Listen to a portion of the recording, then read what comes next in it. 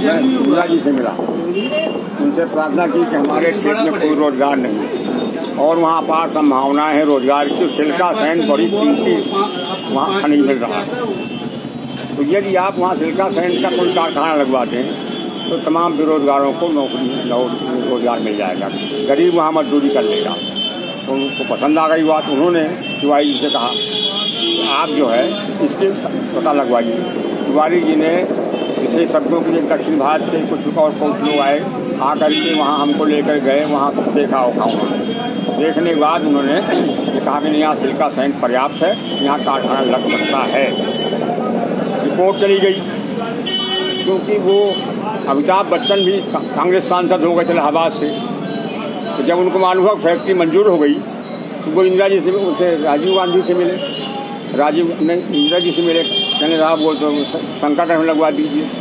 तिवारी जी ने हमको चुपचाप बता दिया? वो गड़बड़ हो रहा है।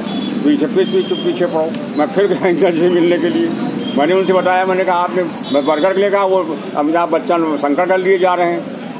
तो फिर ऐसा नहीं होगा, वहीं होगा। अब फिर हुआ यही। उन्होंने पूरा बजट पास कर दिया। और क्योंकि चली गई वो तो राजीव गांधी प्रधानमंत्री।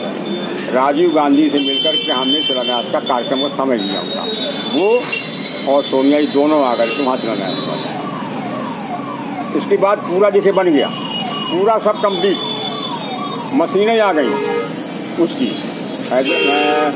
मद्रास उसमें जो बात होता है समुद्र का वो प्लेटफार्म वहाँ मशीनें आ गई। मशीनें आ गई। मशीनों के बाद वो उनको उठाया नहीं कि इन लोगों ने कैमरे जाने कितना हो गया उसका। वरना पड़े पड़े। तो बाद में वो नीलाम हो गई और पूंजी बच्चों ने खरीद लिया। ये कहानी उसकी। फिर फिर उसके बाद कोई प्रयास कभी किसी ने किसी ने नहीं किया? अच्छा। तो बेटा इसको बहुत जोरदार उठा गया अगर वो शुरू होती तो अरे साहब क्या कहना? आप देखो सिल्का सिंह जाके देखो वहाँ कितना बढ़िया निकलता है। अब सब यहाँ से ले जाते हैं वहाँ संकर करके आसपास उसको करते हैं डंडा पर लगाते हैं गोलियों भर के जाता है बाहर। तो आपको दुख नहीं होता कि बहुत मतलब जनप्रतिनिधि की बहुत तकलीफ़ बहुत तकलीफ़। जब कल निकलता हूँ वहाँ से इलाहाबाद जाने के लिए तो वो देख करके मेरे आँसू आ जाते हैं। कितनी बड़ी योजना थी तमाम पढ़ा लिखा बेरोजगार उसमें ये हुआ। अच्छा ये भी था कि यहाँ के बेरोजगार लोकल बेरोजगार लोगों को ट्रेनिंग दे करके उसमें रखा जाए।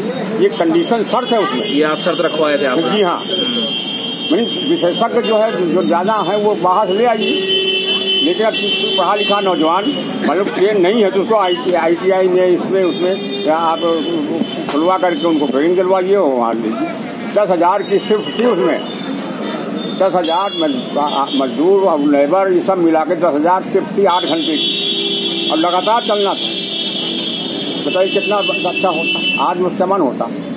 बंद होने का और कोई कारण नहीं पता लगा आपको? और कोई राजनीतिक कारण या कुछ? राजनीतिक कारण से तो क्या बंद हुआ वो? जीते सबसे बड़ी बात नरसिंह राव। प्रधानमंत्री हो गए उत्तर भारत को चौपट करना चाहते थे कांग्रेस। उत्तर भारत से ही प्रधानमंत्री स्तर हुए। उनकी वजह से गड़बड़ हुआ इन लोगों ने जो सांसद रहे उन्होंने प्रयास किया नहीं। मैं कुछ नरसिंह नंदिंगाना हो गए थे ना। उनके गड़बड़